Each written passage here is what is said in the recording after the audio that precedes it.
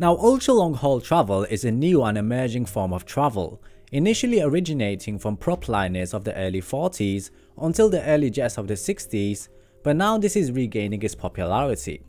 Now this is obvious mostly from the new Qantas project Sunrise, looking to make flights of up to 20 hours.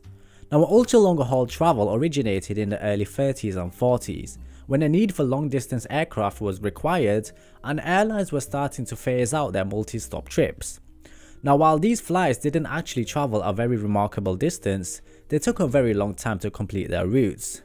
The first of these was part of Qantas's Double Sunrise project, which was done to re-establish the Australia to Britain airlinks which were lost due to the fall of Singapore.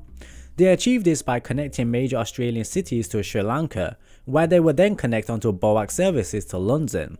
Now this of course resulted in a flight which still remains as one of the longest flights, the Perth to Sri Lanka route.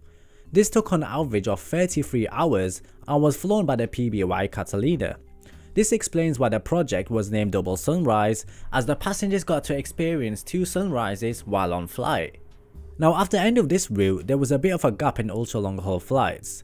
Most airlines had resorted to operating leftover aircraft from World War II such as the DC-3s and flying many stops to reach their long distances. However, on the 1st of October 1957, ultra-long-haul flights began their comeback with the launch of TWA service from London to San Francisco. Now this flight took 23 hours and it was operated by the Lockheed Starliner with a distance of 8,640 kilometers. After this, as airlines began to become more efficient, ultra-long-haul travel was briefly a reality again, with many common routes being operated by super constellations and the like. Once again, all good things must come to an end, and this time it was with the prop age. Now while this caused a revolution in ticket fares and speed, it also caused a demise in people wanting to travel long distances on one flight as it was seen as slower and more uncomfortable. And now we come to the present day. In the early 2000s, airlines decided that because of rising fuel prices and falling airfares, they were going to need more efficient, longer haul airliners to keep up with the market. This has spawned a new era of ultra efficient, ultra long haul travel. Now this type of travel began with aircraft such as the Airbus A340 and the Boeing 777. The first of these routes began on March 2001 with Continental Airlines starting a service direct from Newark to Hong Kong, which made this the first flight since the dawn of the jet age to exceed 16 hours.